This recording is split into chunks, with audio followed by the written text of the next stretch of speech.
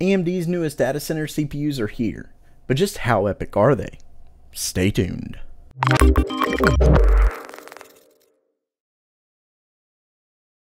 Welcome back to GamerMeld. Yesterday, AMD had their event to launch Epyc, the company's newest data center CPUs. Now, I know tons of people think I'm just some huge AMD fanboy, but I just like competition and will definitely call them out if they do something wrong. But lately, to be honest, well, they're doing pretty good, minus the painfully slow release of Vega but of course I've discussed that a good bit as well.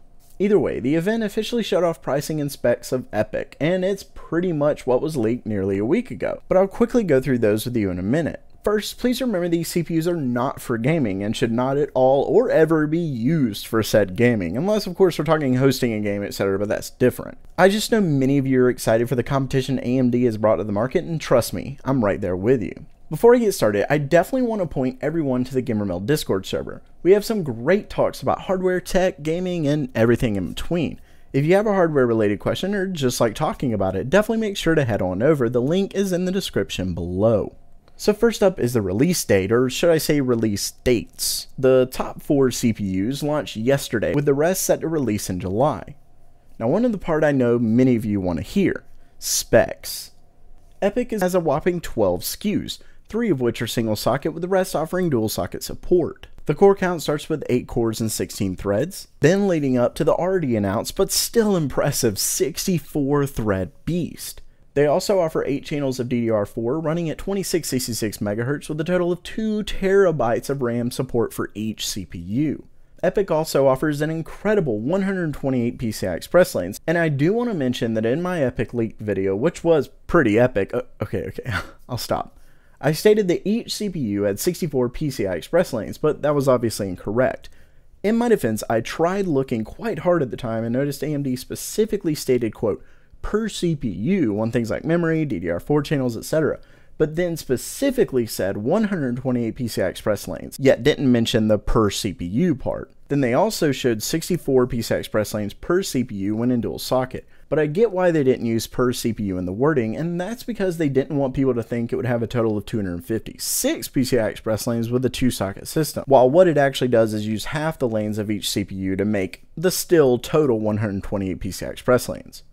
Either way, 128 lanes is what I'd call impressive, and that's for the entire lineup, so there's no confusing specs to ensure your particular CPU has enough lanes, etc., which is definitely something they should be commended on. When talking performance, Epyc has broken a few records, including the performance record for a two-socket server. When compared to Intel's current offerings at similar pricing, you can see Epyc is looking really good. Now, there's one thing to note that could be a huge caveat. Tom's Hardware found that in AMD's EndNotes, they lowered Intel's score when calculating by 46%, stating that, quote, they feel the Intel C++ compiler provided an unfair advantage in the benchmark. But, according to Tom's Hardware, most predicted to be more like 20%. Who most is, though, I don't know. Now, that does still seem to put AMD at a pretty nice lead, but if it's true, those benchmarks certainly aren't accurate comparisons, and I'll absolutely be one to state how ridiculous that is. But until we have third party benchmarks, we can't know for sure. Of course, with Intel soon to be releasing their version 5 Xeons, that might not be good for AMD. Though AMD did state the Epyc was made to compete with Intel's next generation CPUs, so we shall see. Now, while the specs of Epyc are quite impressive, one of the most exciting things to see were the cloud and data center providers who hopped on board the Epyc train. We're talking both Azure, Microsoft's cloud platform, and Baidu, the largest Chinese language search engine, were both excited to utilize the power of Epyc, and both companies had a big presence at the conference.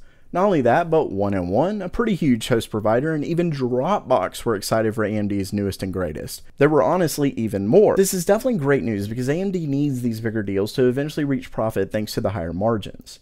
Now, one thing I do want to mention before people get too excited is that this doesn't mean AMD is going to all of a sudden beat out Intel or become huge just yet. I know everyone loves an underdog story, but just stating the companies are excited and going to be including Epyc in their data centers does not tell us how much they plan to utilize it. These companies are going to be very conservative in their buying habits. It's not like they're going to completely replace their current data centers with Epyc or anything like that. That would be, well, ludicrous to do for one, since they have perfectly good hardware already, but of course, they're always looking to purchase more. And it certainly seems, at least for now, that AMD has done a fantastic job and is getting some great partners to help bolster their data center book of business. So while I'm not saying this isn't good news for the company and well earned, just understand it's going to be great competition for Intel and will be fantastic to watch the two companies compete in the market, but it certainly doesn't mean Intel's done for or anything like that. And really, you shouldn't want that. So while that ends today's video, what do you think about Epyc? Does it live up to the name or are you just excited for Intel's newest Xeon processors? Let me know in the comments below. That does it for now. If you liked the video, don't forget to subscribe by clicking on the round icon in the middle. You can check out the most recent video and suggest a video to the left. Thanks so much for coming, and as always, have a great day.